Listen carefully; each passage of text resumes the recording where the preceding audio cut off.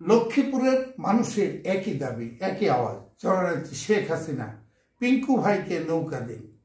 আলহাজ গোলাম ফারুক পিঙ্কু মানেই হচ্ছে এই লক্ষ্মীপুর জেলা আওয়ামী লীগের সভাপতি হিসাবে যেভাবে বঙ্গবন্ধুর আদর্শ দর্শন, যেভাবে মানুষের অন্তরে ছড়িয়ে দিচ্ছেন, যে কারণে বিএনপির ঘাঁটি হলেও এখন আর সেই অস্তিত্ব নেই। এখন নৌকার ঘাঁটি জননেত্রী শেখ হাসিনার ঘাঁটি। পিঙ্কু ভাই, জননেত্রী শেখ হাসিনা জনদাবি অনুযায়ী নৌকা দিলে আপনার সেই চন্দ্রগঞ্জ থানাকে উপজেলা করার সেই যে আপনার কর্মসূচি, সেই থেকে সরে আসবেন না তো? আমি হলাম তৃণমূলের নেতা, তৃণমূল থেকে আমি উঠে আসছি এবং তৃণমূল হলো আমার শক্তি এবং তৃণমূল, আমি অলয় তৃণমূলের নেতা কর্মীদেরকে পছন্দ করে, ভালোবাসি। আমি আজকে যখন দেখে, যেই জায়গা আমি, যেই কমিটমেন্টগুলো আমি করেছি, আমি সেই কমিটমেন্ট অবশ্যই রক্ষা করেছি। আমার চন্দ্রগ্রাম থেকে উপজেলা করার জন্য আমি মাননীয় প্রধানমন্ত্রী জয়ন্তী শেখ হাসিনা দুই হাজার সতেরো সালের চোদ্দোই মাস লক্ষ্মীপুর স্টেডিয়ামে জনসভা করেছিল। সেই জনসভায় আমি বলছিলাম যে জয়ন্তী শেখ হাসিনা আপা, আপনার কাছে আমার অনুরোধ। তর্ণগঞ্জ হলো একটা সন্ত্রাস কবলিত এলাকা। এখানে বিএনপি সন্ত্রাসীর অত্যাচারে আমাদের প্রায় উনচল্লিশ জন নেতাকর্মীকে নৃশংসভাবে হত্যা করেছে। আজকে আপনি চন্দ্রগঞ্জ থেকে থানা করে দিয়েছেন, আজকে লক্ষ্মীপুরের চন্দ্রগঞ্জে এখন, সেই আগের মতো সন্ত্রাস এখন আর নাই। সেই বাহিনী এখন আর নাই। কিন্তু আপনার কাছে আমাদের দাবি, লক্ষ্মীপুর জেলা যে লক্ষ্মীপুর জেলার চন্দ্রগঞ্জ থানার নয়টা ইউনিয়নের তিন লক্ষ লোকের দাবি চন্দ্রগঞ্জ থেকে উপজেলা হিসাবে আপনি করা। আমি মহাদান জননেত্রী শেখ হাসিনা আপাকে এই কথাগুলো আমি বলেছিলাম। তখন উনি বলেছিল যে উপ- উপজেলা করতে হলে কিছু সরকারি নিয়ম আছে। ওই নিয়মগুলো ফলো করে উপজেলা করতে হয়। ইনশাল্লাহ তোমরা সেই নিয়ম অনুযায়ী তোমাদের প্রায় প্রসেস করো তাই আমি তোমাদের উপজেলা কথা দিয়ে গেলাম উপজেলা করে দেব। পিঙ্কু ভাই জি। আমি আপনার ইউনিয়ন পর্যায়ে মানুষের সাথে কথা বলে আসি তারপরে আপনার সাথে আবার কথা ইনশাল্লাহ। আমি আওয়ামী লীগের একজন তৃণমূলের কর্মী। আমি জননেত্রী শেখ হাসিনা যখন উনিশশো ছিয়ানব্বই সালে ক্ষমতায় আসেন তখন আমি জনগণের প্রত্যক্ষ ভোটে নির্বাচিত চেয়ারম্যান হই এবং আমি ছিয়ানব্বই সাল থেকে একাধারে পনেরো বছর দুইবারেই নির্বাচিত লক্ষ্মীপুর জেলা কৃষক লীগের সাধারণ সম্পাদক হই। এবং বর্তমানে আমি আর চন্দ্রগঞ্জ বাজার একটা বৃহৎ থানা হেডকোয়ার্টারে বাজারের বণিক সমিতির নির্বাচিত সভাপতি। আমি তৃণমূলে কাজ করি। আমি মনে করি এই লক্ষ্মীপুর সদর তিন আসনে আমাদের লক্ষ্মীপুর জেলা আওয়ামী লীগের সম্মানিত সভাপতি আলহাজ মিয়া মোহাম্মদ গোলাম ফারুক পিঙ্কু সাহেবকে যদি আমাদের প্রিয় নেত্রী বাংলার আঠারো কোটি মানুষের নেত্রী, যার উপরেই বাংলার মানুষের আশা ভরসা, সেই নেত্রী যদি আমাদের পিঙ্কু সাহেবকে মনোনয়ন দেন, আমরা আশা করি ইনশাল্লাহ ওনাকে আমরা জিতাতে পারব। আপনারা এই লক্ষ্মীপুরে আসন্ন নির্বাচনে জননেত্রী শেখ হাসিনার কাছে এমপি হিসাবে কাকে নৌকা দিলে বেশি শক্তিশালী হবে তা জানব। কারণ আপনার রয়েছে পিছনে বিশাল ব্যাকগ্রাউন্ড আপনার ঘরটাই হলো মুজিব সৈনিকের ঘর, আপনার স্ত্রী। বিভিন্ন স্তরে জনপ্রতিনিধি এবং আওয়ামী লীগের বড় বড় দায়িত্ব পালন করছেন। কি বলবেন, নৌকার মাঝি হিসেবে কাকে চাই? আসলে সবচেয়ে বড় কথাটুকু হলো, আমাদের এই লক্ষ্মীপুরটা ছিল বাংলাদেশের লেবানন।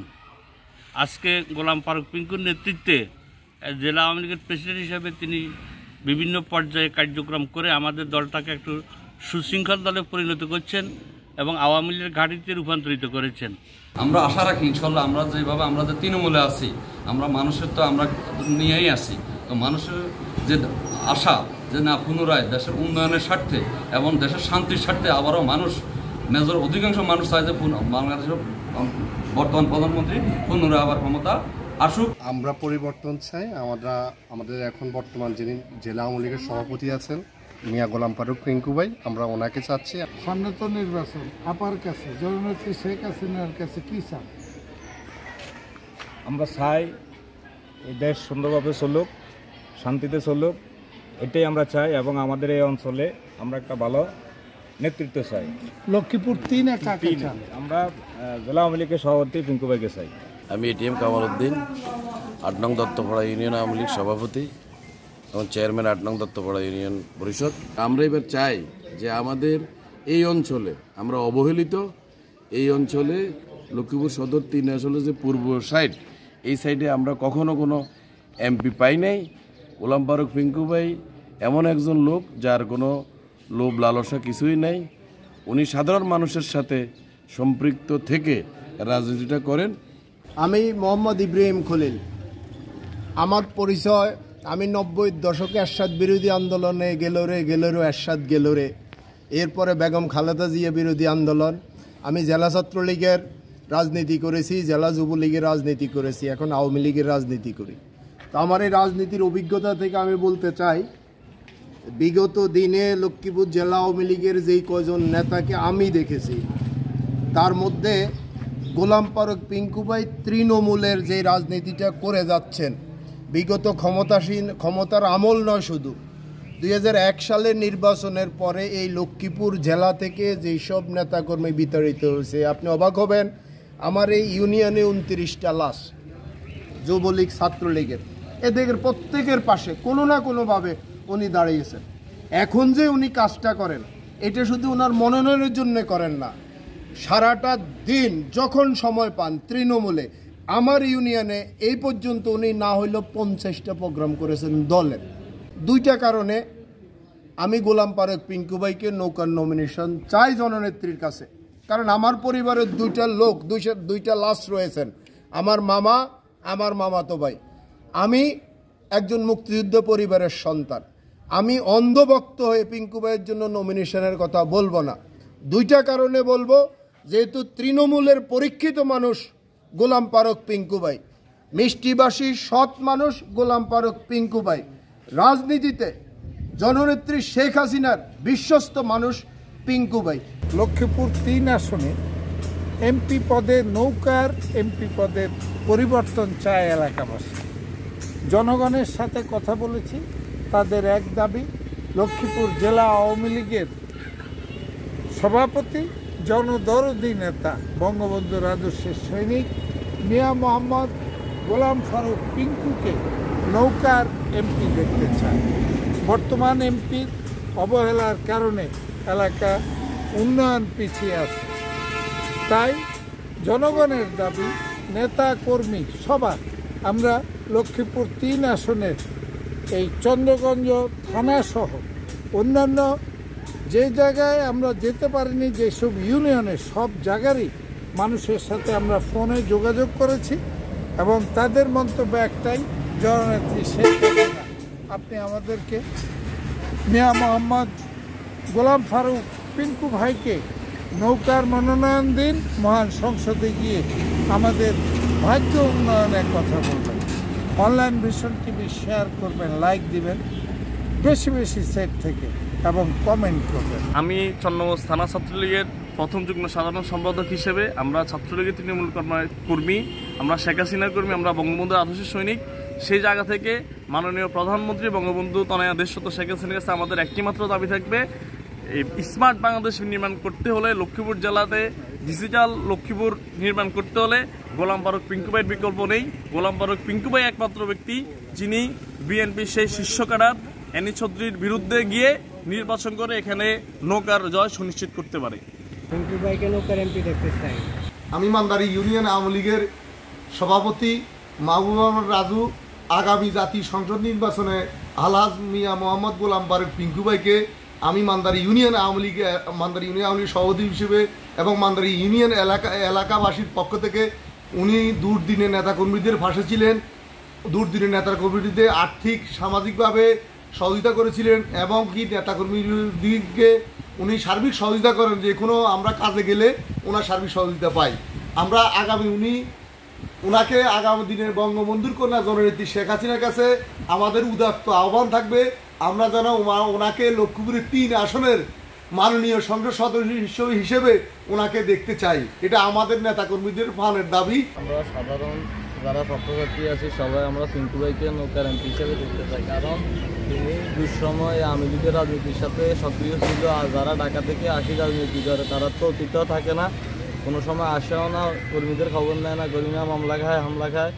তাদেরকে আরও খবর নেয় না। পিন্টু ভাই দুঃসময় কর্মীদেরকে টাকা দিয়ে হেল্প করে কর্মীদেরকে উনি নিজে থেকে চালায়। টিঙ্কু বাইরে জননেত্রী শেখ হাসিনার কাছে অনুরোধ জাতীয় সংসদ নির্বাচনে এমপি হিসেবে দেখতে চাই।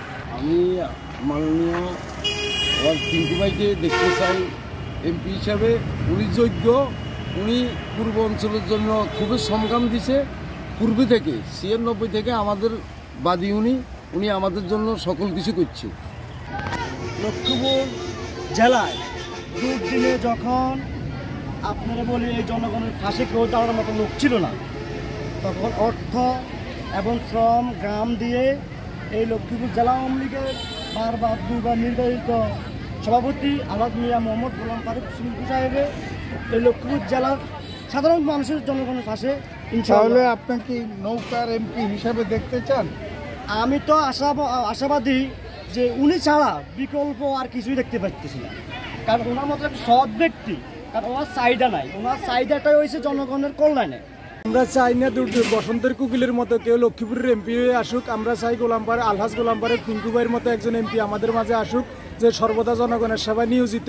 আর কোনো দাবি দেওয়া নাই, আলহাজ গোলাম পিঙ্কু ভাইকে এমপি হিসেবে দেখতে চাই।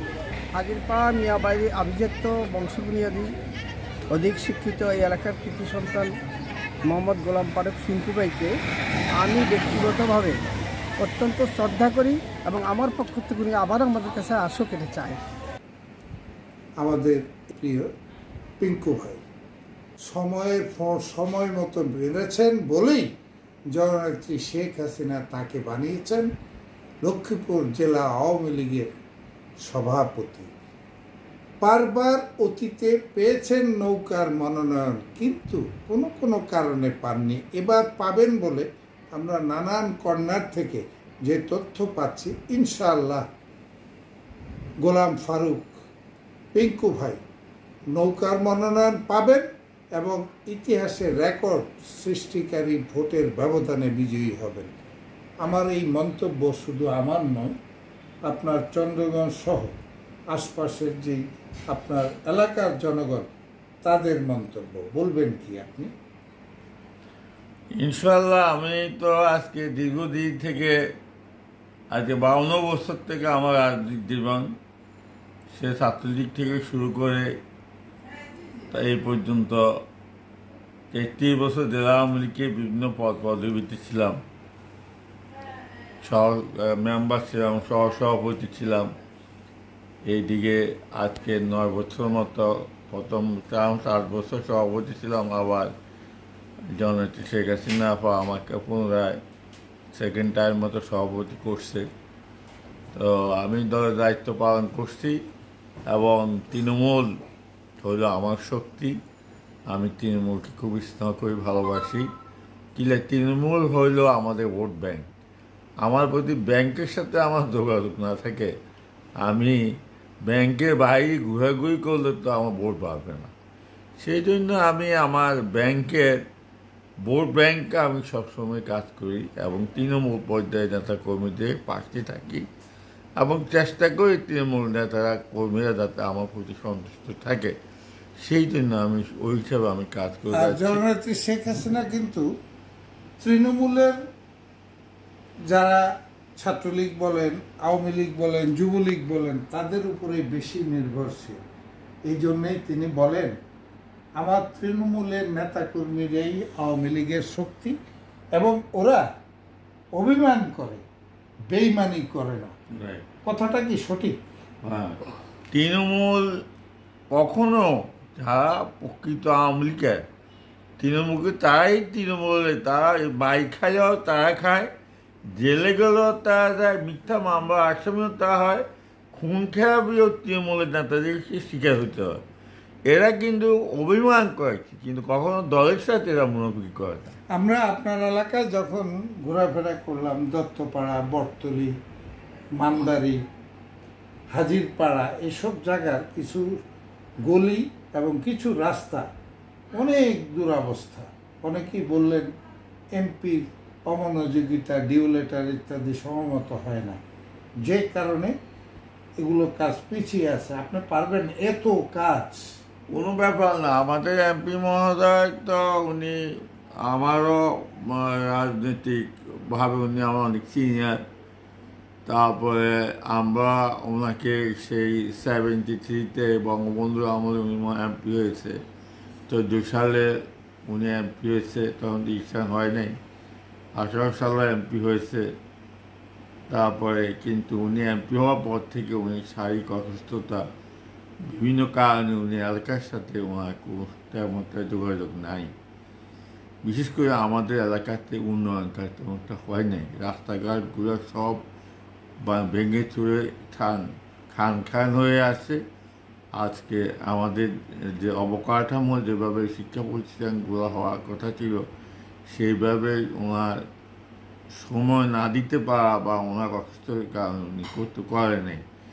সে কারণে যদি আল্লাহ রহমত আল্লাহ আমাকে সুযোগ দেয় জনগণের খাদে খাদাম হিসেবে আল্লাহ আমাকে মঞ্জুর করে, সবে কাতরে যদি আমার ভাগ্যে থাকে, আমি যদি সুযোগ পাই, আমি এই সকল অবকাঠামোগুলা আমি ইনশাল্লাহ করতে পারব লক্ষ্মীপুরে আপনি প্রত্যন্ত অন্তর লক্ষ্মীপুরে দেখেছেন লক্ষ্মীপুরে সাধারণ মানুষ তৃণমূল।